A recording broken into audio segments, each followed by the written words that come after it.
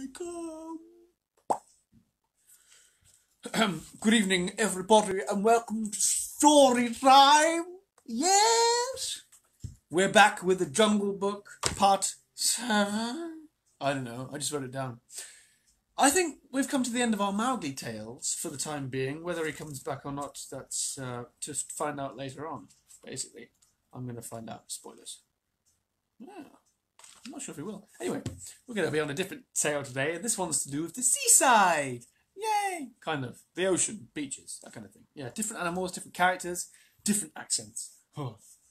So, I'm going to dive straight in. This chapter is called The White Seal.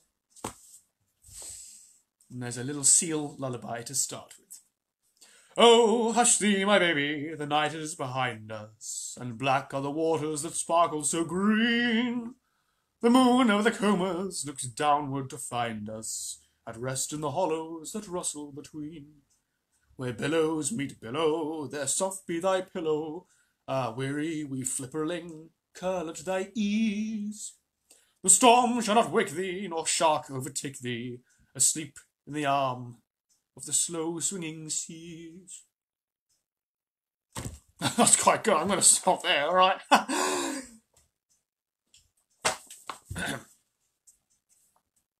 All these things happened several years ago at a place called Novastoshnah, or North End Point, on the Isle of St. Paul, away and away in the Bering Sea. There are lots of uh, names which I, if I can't pronounce them, we'll all get over it together, hopefully. Limmershin, the winter wren, told me the tale when he was blown out onto the rigging of a steamer going to Japan, and I took him down into my cabin and warmed and fed him for a couple of days till he was fit to fly back to St. Paul's again. Limmershin is a very old little bird, but he knows how to tell the truth. Nobody comes to Novastoshnah except on business, and the only people who have regular business there are the seals. They come in the summer months by hundreds and hundreds of thousands out of the cold grey sea, for Novastoshnah Beach has the finest accommodation for seals of any place in all the world.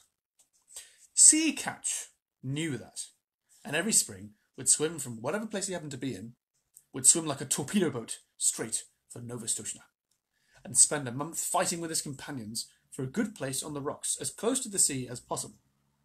Sea Catch was 15 years old, a huge grey fur seal with almost a mane on his shoulders, and long, wicked dog teeth when he heaved himself up on his front flippers, he stood more than four feet clear of the ground, and his weight, if anyone had been bold enough to weigh him, was nearly seven hundred pounds. He was scarred all over with the marks of savage fights, but he was always ready for just one more fight. He would put his head on one side, as though he was afraid to look his enemy in the face. Then he would shoot it out like lightning, and when the big teeth were fixed firmly on the other seal's neck, the other seal might get away if he could, but Sea Catch would not help him.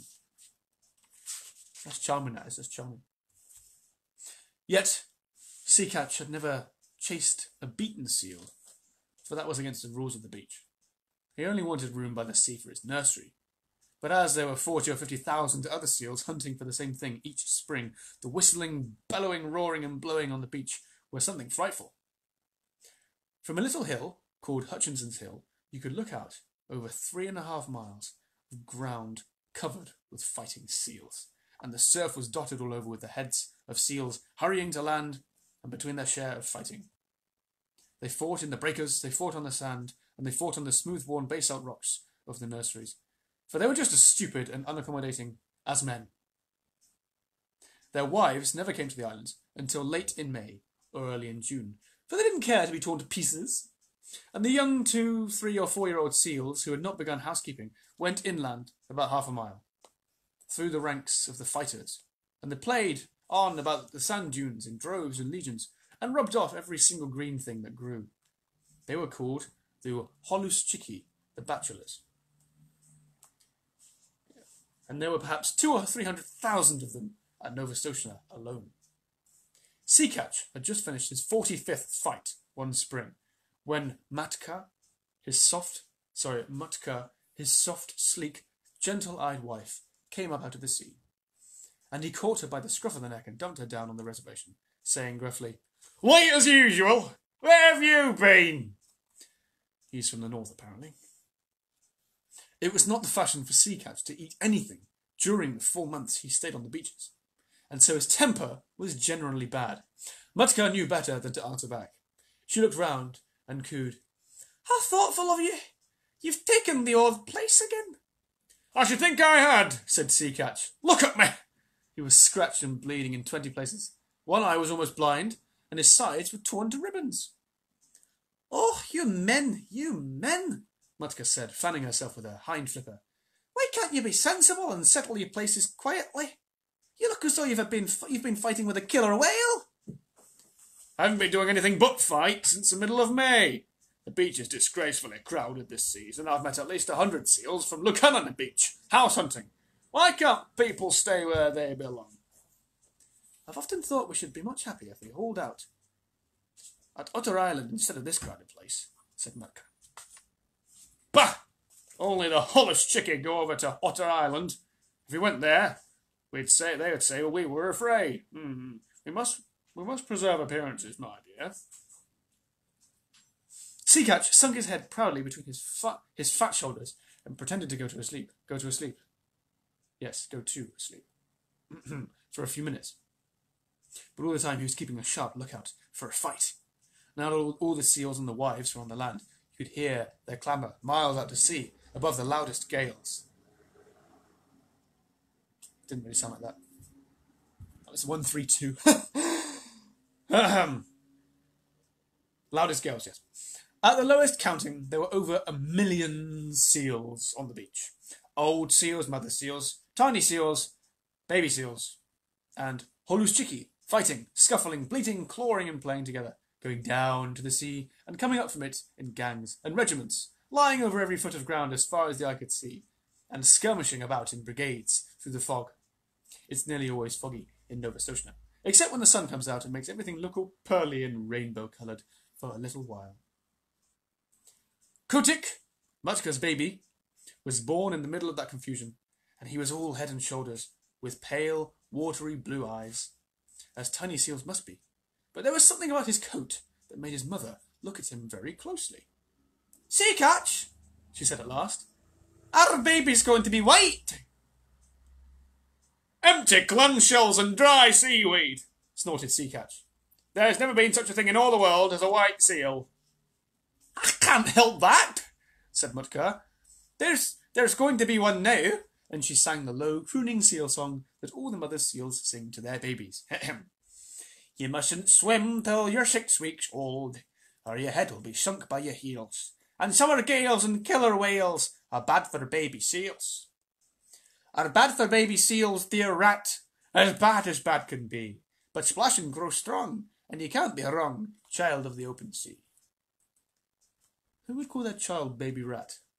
Dear rat.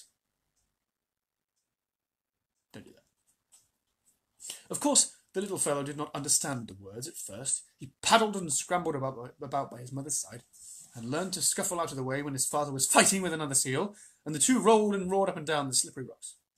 Mutka used to go to the sea to get things to eat, and the baby was fed only once in two days.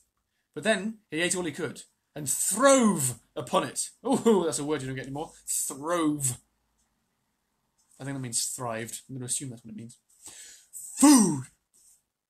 The first thing he did was to crawl inland. And there he met tens of thousands of babies of his own age. And they played together like puppies, went to sleep on the clean sand, and poured again. The old people in the nurseries took no notice of them, and the Holluschickie kept to their own grounds. So the babies had a beautiful playtime. When Mutka came back from her deep sea fishing, she goes straight to their playground and call, as a sheep calls for a lamb, and wait until she heard Kotick bleat. It says bleat. I'm just, I'm just, yeah. Then she'd take the straightest of straight lines in his direction, striking out with her full flippers and knocking the youngsters head over heels, right and left. There were always a few hundred mothers hunting for their children through the playgrounds, and the babies were kept lively. But, as Mutka told Kotick, um, so long as you don't lie in muddy water and get mange or rub the hard sand into a cut or scratch, And so long as you never go swimming where there's a heavy sea, nothing will hurt you here. Little seals can no more swim than little children, but they are unhappy till they learn.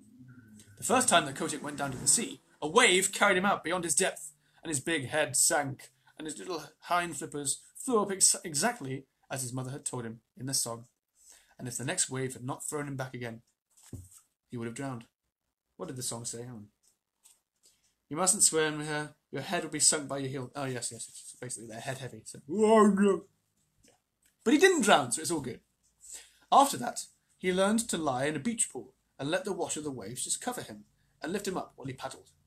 But he always kept his eye open for big waves that might hurt.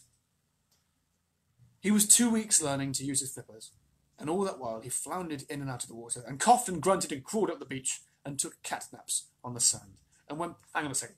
He's a rat, he's a sheep, he's a cat, he's a seal. I mean, hey, hey, hey.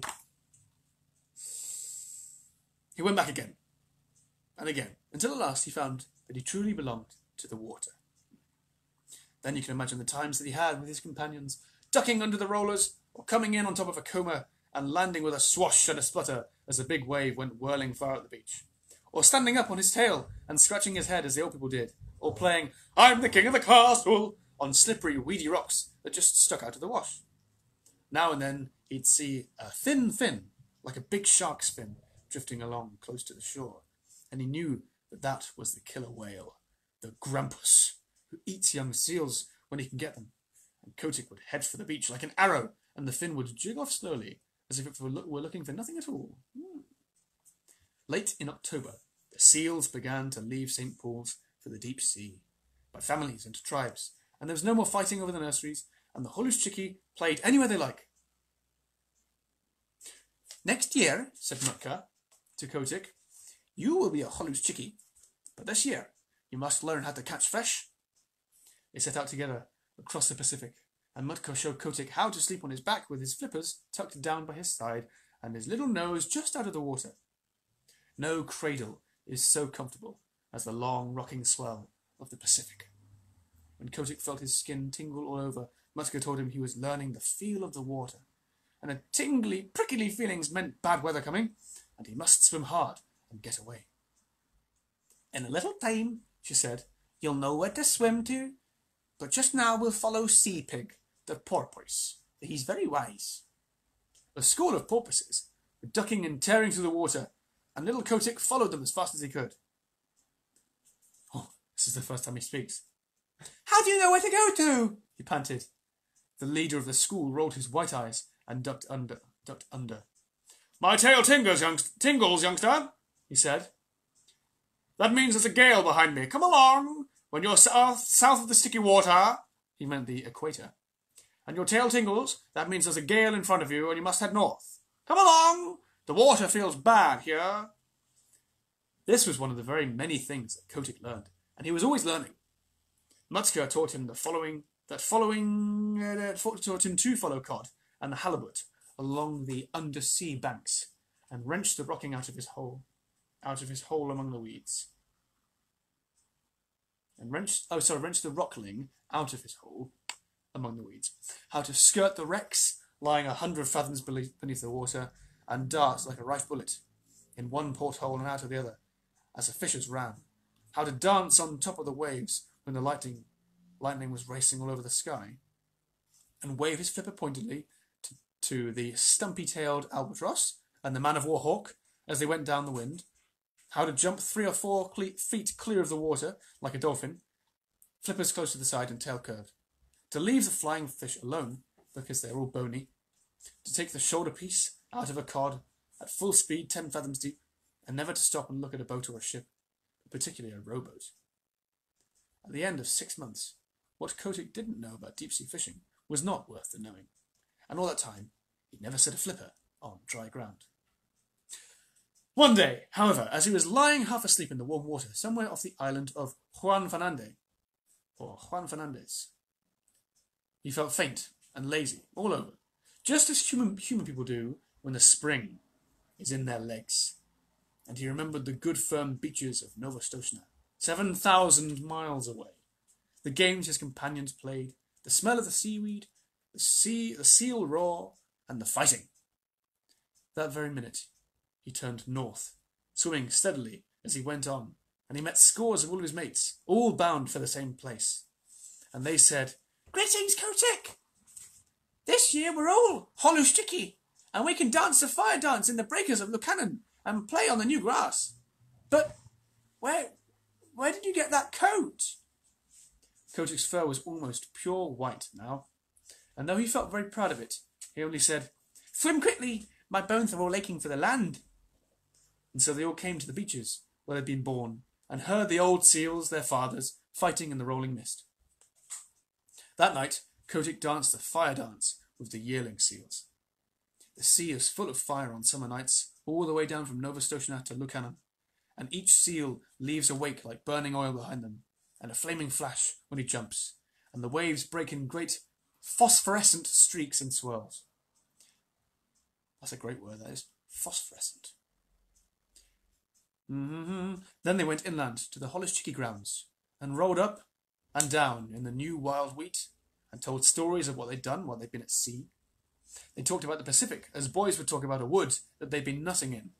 And if anyone had understood, he could have gone on away and made such a chart of the ocean as never there was.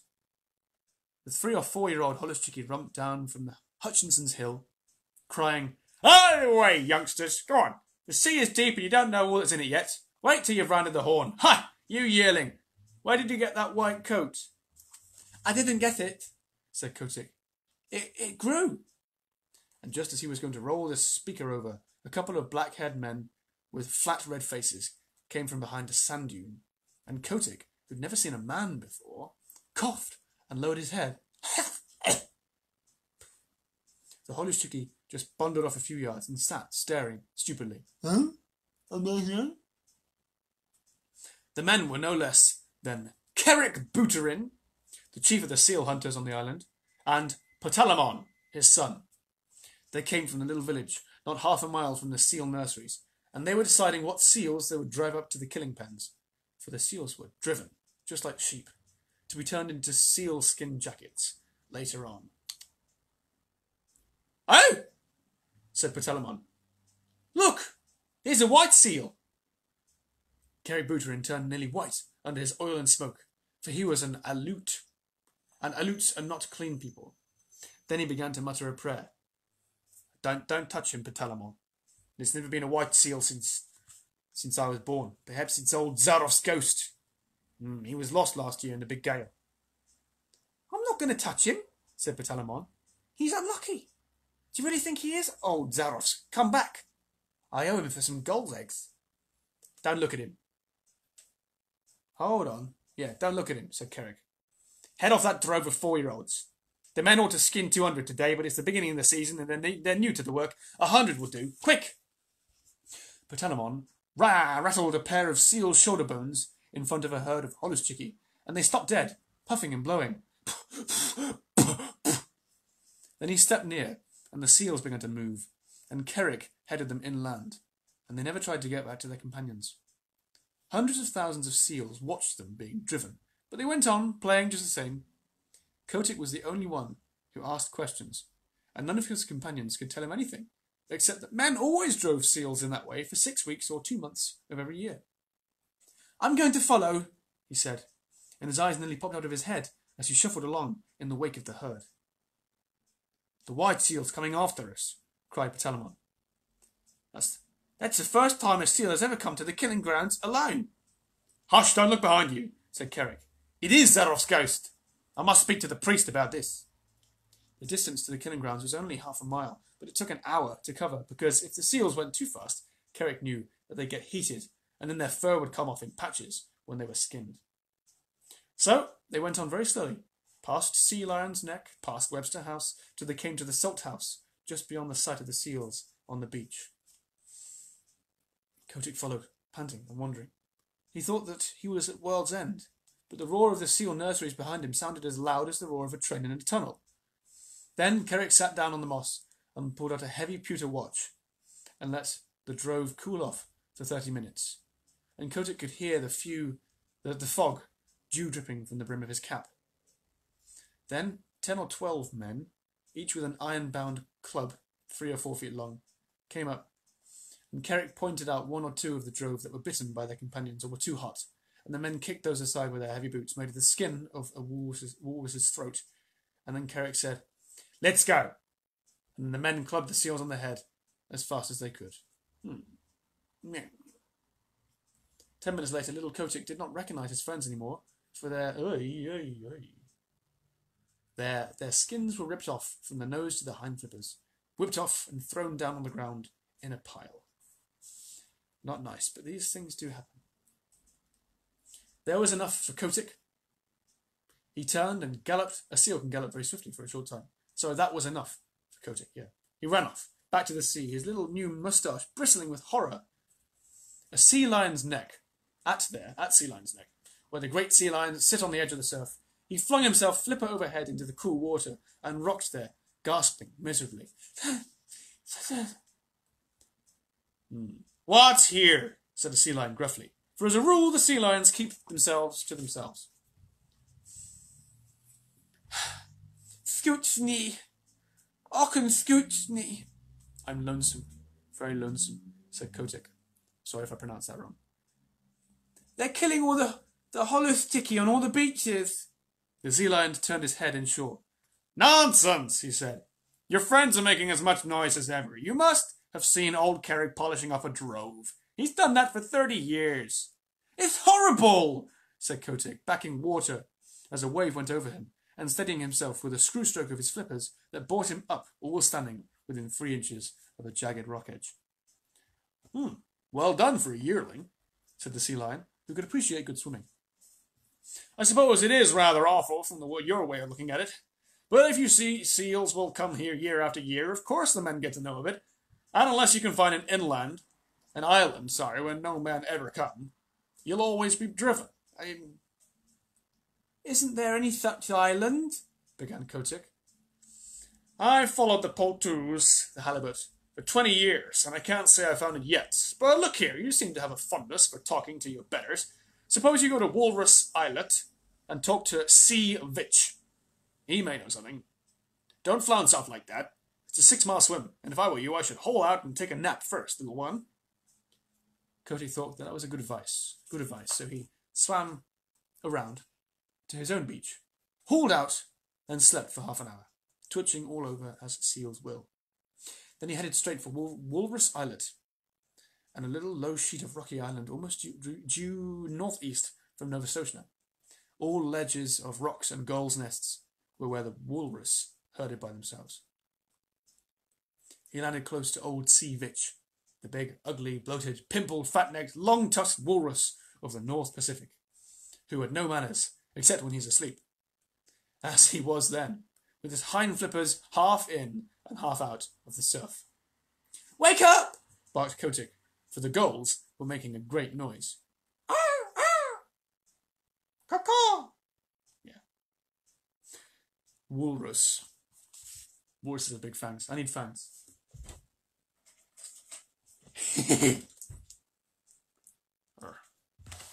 I'm, I'm a walrus.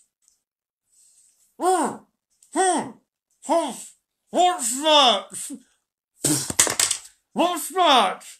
said Sea Vitch, and he struck the next walrus a blow with his tusks and waked him up, and the next struck the next, and so on, till they were all awake and staring in every direction but the right one. What's that? Hi, it's me, said Kotick, bobbing in and out of the surf like a little white slug. Well, may I be skinned, said Sea Vitch, and they all looked at Kotick, as you can fancy a, cl- a club full of drowsy old gentlemen would look at a, a little boy. Oh, what are you? Kotick didn't care to hear any more about skinning just then. He'd seen enough of it, so he called out, Isn't there any place for the seals to go where men don't ever come? Mm, go and find out, said Sea Vitch, shutting his eyes. Run away, we're, we're busy here. Kotick made his dolphin jump in the air and shouted as loud as he could. Clam eater! Clam eater! He knew that Sea Vitch never caught a fish in his life, but always rooted for clams and seaweed, though he pretended to be a very terrible person. Naturally, the chickies and the goofrooskies and the apatkas and the kittiwakes and the puffins, who were always looking for a chance to be rude, took up the cry, and so Limmershin, Limmershin told me, for nearly five minutes, you could not have heard a gun fired on Walrus Islet. All the population was yelling and screaming, eater! Starik, old man! While Sea Vitch rolled from side to side, grunting and coughing. Now will you tell me? said Kotick, all out of breath. Gronoth! Gronoth! I can't do an S. Sea cow, said Sea Vitch. If he is living still, he'll be able to tell you. How shall I know Sea cow when I meet him? said Kotick, sheering off. He's the only thing in the sea. Oh, that's not him speaking. He's the only thing in the sea uglier than Sea Vitch, screamed a Burgomaster gull, wheeling under Sea Vitch's nose. Uglier and with with worse manners. Starik! Ha ha! Kotick swam back to Novastoshnah, leaving the gulls to scream. There he found that no one sympathized with him in his little attempts to discover a quiet place for the seals. They told him that men had always driven the Holluschickie. It was part of the day's work, and that if he didn't like to see the ugly things, then he should, he should not have gone to the killing grounds. But none of the other seals had seen the killing, and that made the difference between him and his friends. Besides, Kotick was a white seal. What you must do, said old Sea Catch after he'd heard his son's adventures, is to grow up and be a big seal like your father, and have a nursery on the beach, and then they'll all leave you alone. Ha ha, yes, in another five years you ought to be able to fight for yourself. Even gentle Mutka, his mother, said, You'll never be able to stop the killing. Go and play in the sea, Kotick. And Kotick went off and danced the fire dance with a very heavy little heart. And that's where I'm going to stop it for today. Better write down the accent someday. Or I'll totally forget tomorrow. um, yes. Thanks for joining in. I'll catch you next time for another installment of The Jungle Book. Although this isn't actually a jungle, but then you could say it's a jungle in the sea. I don't know. I'm going to bed. Good night.